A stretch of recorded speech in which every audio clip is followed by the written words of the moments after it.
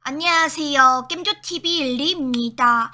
영웅전설 가가브 트릴로지가 신규 길드 raid 보스 스코티아를 공개했습니다. 스코티아는 체력 비례 공격과 mana 감소로 파티를 일순간에 전멸시키기도 하고 공격력이 높은 아군을 암살하거나 스스로 받는 피해량 감소 buff를 거는 등 높은 점수를 내는데 방해되는 요소를 가진 것이 특징입니다. 또한 중독만 제때 풀 수 있다면 healer 및 방어 의존도가 낮은 곳이기도 합니다. main skill 어둠의 더러워진 생명은 치명적인 독을 분출시켜 공격력이 가장 높은 적 2명에게 공격력의 100%만큼 마법 피해를 입히고 120초 동안 매초 최대 체력을 15%만큼 중독 피해를 입힙니다. 중독 상태는 최대 체력 비례로 피해를 입히므로 중독 상태 발견 시 즉시 해제할 수 있어야 합니다. 이 피해는 마법 피해 판정이므로 루티스 스킬 등으로 마법 저항을 올렸을 때 피해량을 줄일 수 있습니다. 첫 번째 sub skill 지면 파괴는 지면을 긁어내어 모든 적에게 공격력의 300%만큼 마법 피해를 입히고 15초 동안 자신의 받는 피해량이 50%만큼 감소합니다. 피해량도 피해량이지만 피해 감소 buff가 걸리므로 즉시 buff를 해제시키거나 buff 해제 skill이 없다면 받는 피해를 증가시켜서 상쇄시켜야 합니다.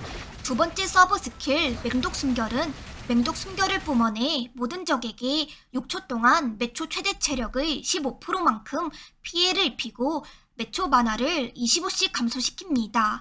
일명 breath라 불리는 공격으로 사실상 스코티아 핵심 공격 skill이라 할 수 있으며 피해량도 피해량이지만 mana도 감소시키므로 일단 발동하면 대응이 어렵습니다. 스코티아의 모션을 보고 반드시 기절로 cancel하는 것이 좋습니다. 모션이 헷갈릴 수 있는데 보스 체력바 밑의 아이콘을 잘 보고 있다가 오른쪽 아이콘 cool time이 끝나면 준비하고 스코티아가 살짝 점프하는 모션 직후에 breath를 사용하므로 점프할 때에 스킬 혹은 폭탄으로 cancel하면 됩니다.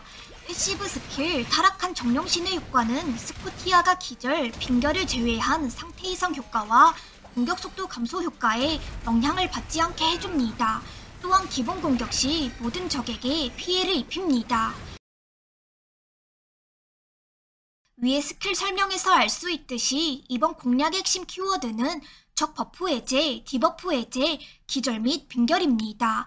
먼저 스코티아의 skill을 끊을 수 있는 기절 효과의 대표적인 기대주는 가웨인과 나레사, 루카, 라엘, 샤오, 자는 릭입니다.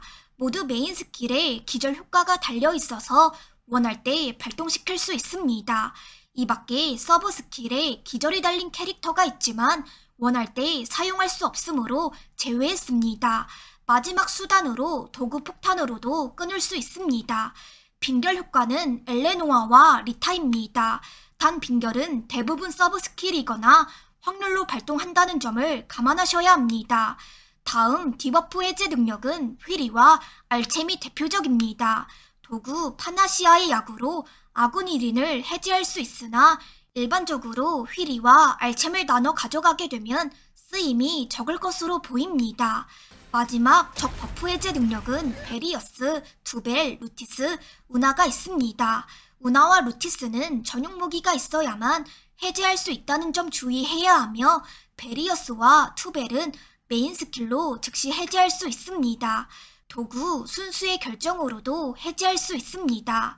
이처럼 1. 스코티아의 breath를 제때 cancel하고 2. main skill에 의한 중독 상태 해제 3. 스코티아의 피해량 감소 buff를 제때 해제한다면 나머지는 안정적인 극딜을 노리는 점입니다.